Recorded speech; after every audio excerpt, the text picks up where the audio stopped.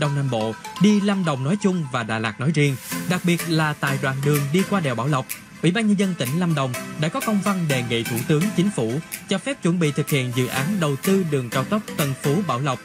Cao tốc Tân Phú Bảo Lộc là một trong những đoạn thuộc tuyến cao tốc dầu dây Liên Khương, Đà Lạt, có tổng chiều dài 208 km, quy mô 4 làn xe, nằm trong quy hoạch phát triển mạng lưới đường cao tốc Việt Nam đến năm 2020, định hướng đến năm 2030.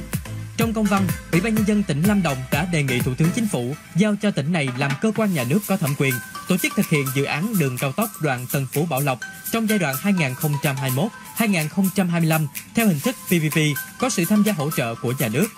Theo đề xuất của Ủy ban Nhân dân tỉnh Lâm Đồng, dự án cao tốc Tân Phú Bảo Lộc có điểm đầu dự án tại km 59 cộng 594, lý trình dự án cao tốc dầu dây Tân Phú giao với quốc lộ 20 tại km 69 cộng 400 trên địa phận xã Phú Trung, huyện Tân Phú, tỉnh Đồng Nai. Điểm của dự án tại km 126 cộng 360 giao với đường Nguyễn Văn Cừ, thành phố Bảo Lộc, tỉnh Lâm Đồng, tổng chiều dài toàn tuyến khoảng 67 km.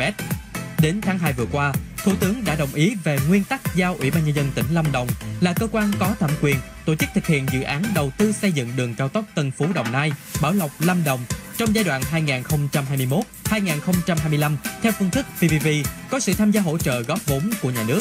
Đầu tháng 3, Ủy ban Nhân dân tỉnh Lâm Đồng đã có kiến nghị Bộ Kế hoạch và Đầu tư thẩm định báo cáo nghiên cứu tiền khả thi cao tốc Tân Phú Đồng Nai Bảo Lộc Lâm Đồng. Liên tiếp những tín hiệu tích cực như vậy khiến tất cả người dân đều rất vui mừng và mong chờ tuyến cao tốc này. Do cao tốc Tân Phú Bảo Lộc có tổng mức đầu tư rất lớn nên sau khi cân đối giữa nhu cầu giao thông của dự án trong giai đoạn 2025-2045 và khả năng thu xếp vốn đầu tư thì phương án đầu tư hiệu quả nhất là phân kỳ đầu tư dự án theo hai giai đoạn. Tính toán sơ bộ cho thấy, tổng mức đầu tư giai đoạn 1 của dự án cao tốc Tân Phú Bảo Lộc vào khoảng 16.408 tỷ đồng. Trong đó vốn nhà nước tham gia bao gồm nguồn ngân sách của địa phương và trung ương là 6.500 tỷ đồng, phân vốn còn lại 9.908 tỷ đồng sẽ do nhà đầu tư huy động.